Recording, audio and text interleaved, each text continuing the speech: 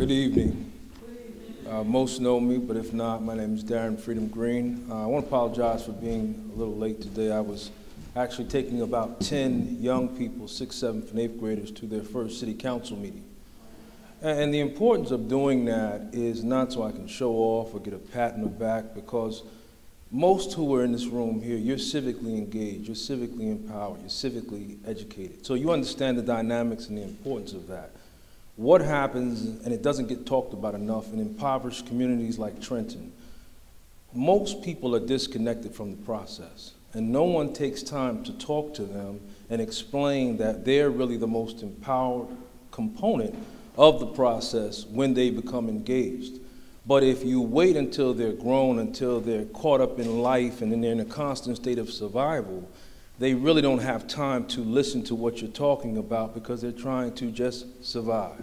And then the media will say they don't care or they don't want better. And that's not necessarily the truth.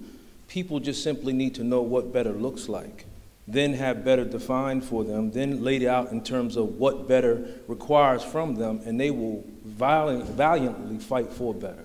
So, in terms of taking these young people here, the first thing they asked when they went into City Hall was, Where are all the people? Because of the empty seats. And here's a city, I think, what in the range of 80,000 people, maybe the number's a little lower now, and no one's there at the meeting that's dealing with the issues that create the conditions they have to exist in. And again, this is so important that we leave out of meetings like this and not pat ourselves on the back, but then find people who don't know and begin to empower them by educating them on what we do know. Because again, how important is that?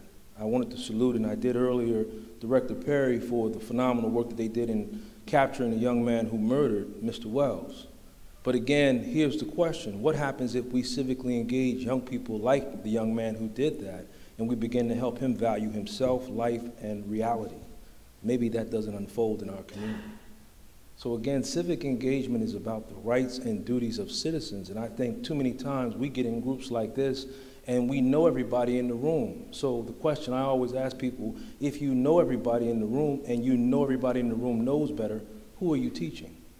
We have to begin to move beyond the walls and the confines of our comfort zone and begin to teach the people who don't know. Because I assure you, they want better. It's just simply somebody taking time to pour a little love in them, explain to them what better looks like, and then understand that civic education and empowerment isn't relegated to election cycles. And that's really what happens in small communities like Trenton and Camden and, and North. People are only engaged and talked to and empowered during election cycles. And then the switch is turned back off, and then they're left to go on alone. I say to people all the time civic engagement is every second you breathe. Wherever you are, there's something you could be learning and doing to empower yourself, your community, and your city. And those become the change agents who change the dynamics of the reality we listed. So my message is simple. I'm not going to belabor you because you already know better. But I ask you and challenge you when we begin to deal with situations and scenarios, ask yourself who did you teach today? Who did you empower today? Who did you educate today?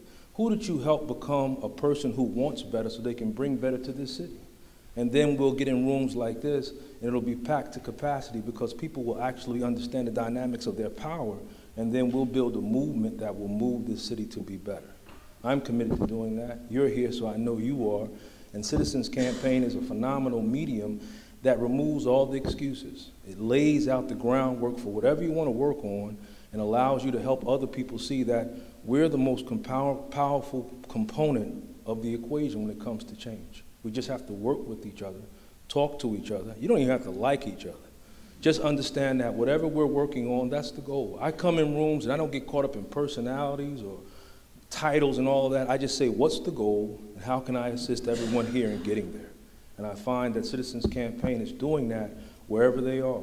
You know, I was teaching the day earlier about tier one and tier two. And again, people living in impoverished communities don't know about that until it's too late.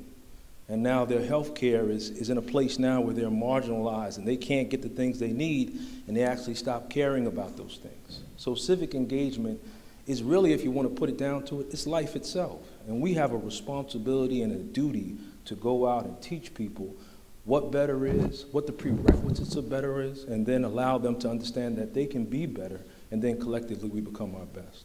Thank you.